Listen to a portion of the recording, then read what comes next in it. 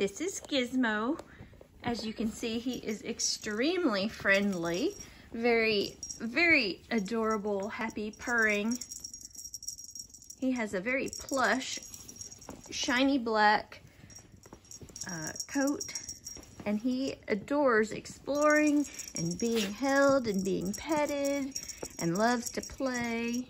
He's good with other kitties and dogs and is ready to find a forever family. He's ready to explore right now.